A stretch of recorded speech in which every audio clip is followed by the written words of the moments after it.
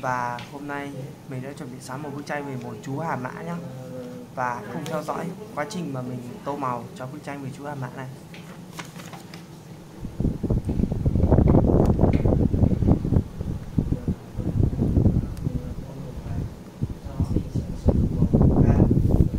Để tô màu cho chú Hà Mã này thì mình sẽ sử dụng một chút màu tím này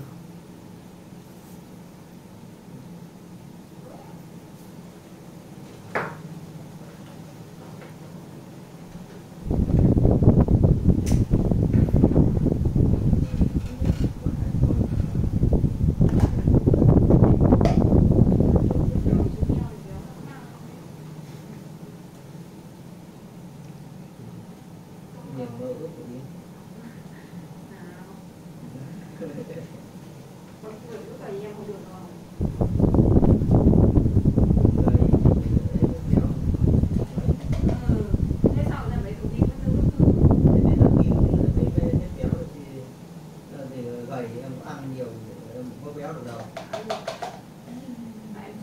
em em em em béo thử anh tới coi em không em ăn đấy béo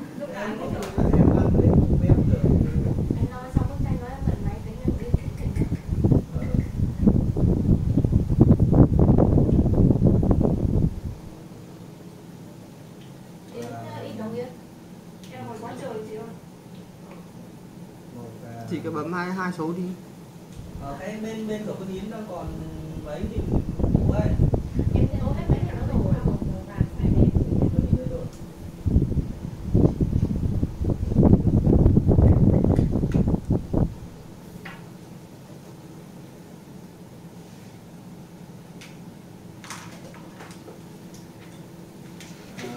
màu nâu tô màu cho cái cổng chim này